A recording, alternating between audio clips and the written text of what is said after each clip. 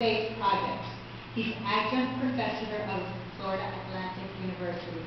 Gean? Turn around.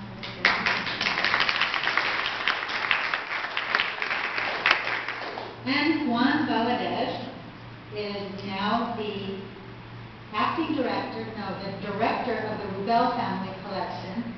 Um, he was born in Brazil, graduated from New World School of the Arts High School in 1994, and New York's Cooper Union in 1999. He's worked for the Rubell Family Collection for 10 years um, in various roles. He's collection manager, acting director, and he's the recently appointed director of the Rubell Family Collection. Juan?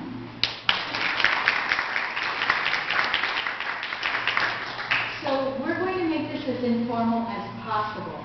And we're going to start with Adrian. Why don't you come up here so it's more of a panel?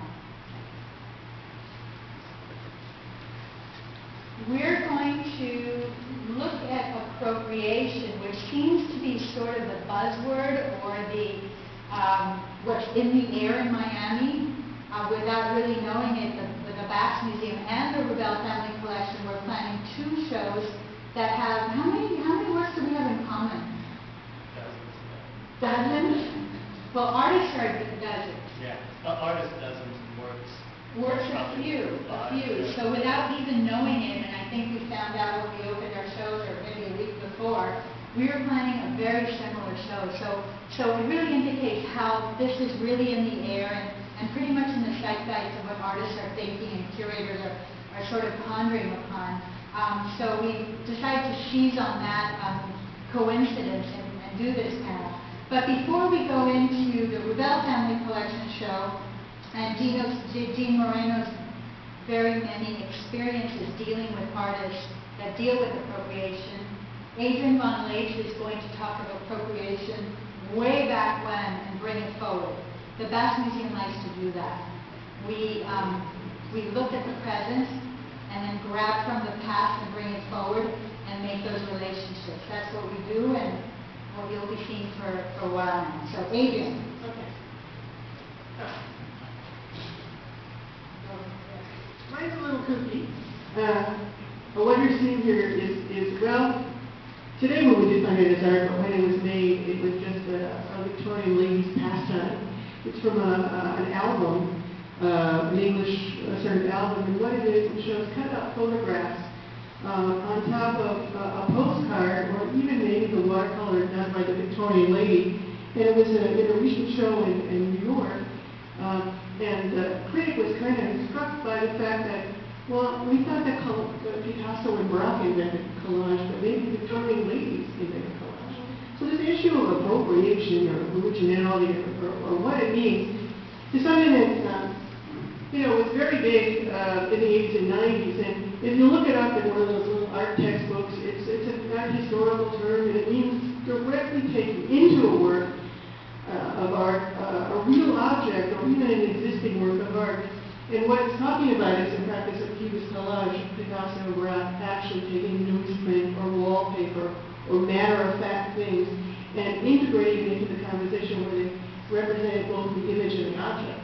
And then this was taken even further as a conceptual idea uh, by Duchamp with his ready-mades, everything from his postcards uh, of the Mona Lisa with a mustache and a goatee and dirty phrase on it, uh, to uh, the famous uh, urinal uh, turned into a fountain. And what he's doing is appropriating from uh, the real world and to the power of his self-confidence as an artist, calling it art, and, opens up Pandora's box of, uh, appropriation from the real world.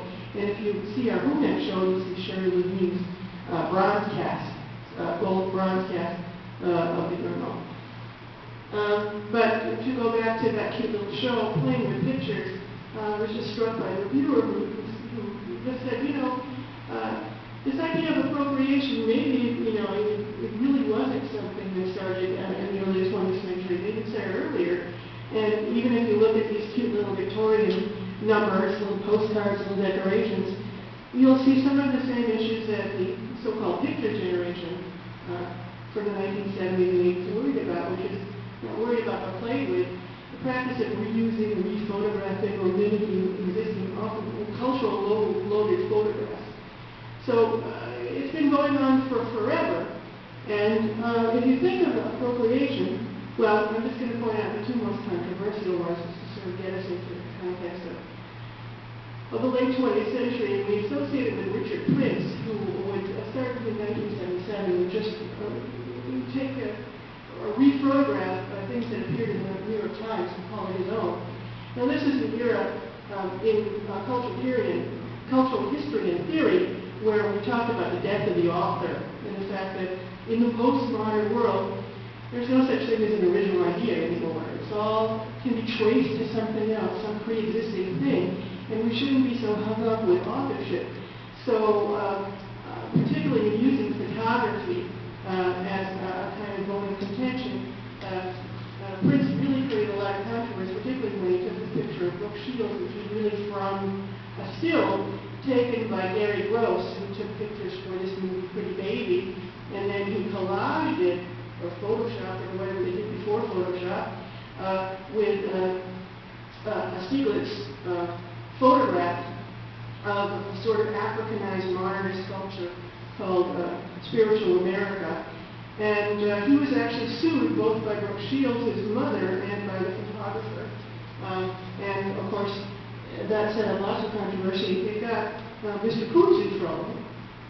Mr. Koons lost this lawsuit, took it all the way to the Supreme Court. What he did is he ordered up a sculpture um, inspired by his Art Rogers photograph of puppies. Now, I changed the puppies, right? They're blue puppies, and we put little daisies on everybody's head. But that wasn't enough. Uh, the Supreme Court said that Mr. Koons uh, took the intellectual property of Mr. Rogers and had to settle financially. And Shepard Fairey had to do that recently as well with the Associated Press uh, when he used uh, an Obama poster, an Obama photograph from an AP, a photographer, for his famous uh, Obama image. So this idea of appropriation and taking it from the media uh, is controversial and can get artists in trouble, but uh, also gets them a lot of notoriety. Now, I'm going to talk about this idea of what appropriation is. Is it copying? Is it emulation? Is it making some kind of cultural comment? Is it expressing the anxiety of the artist in terms of what they look at, what they reference? And this idea of being original, what do you look at? What inspires you as an artist?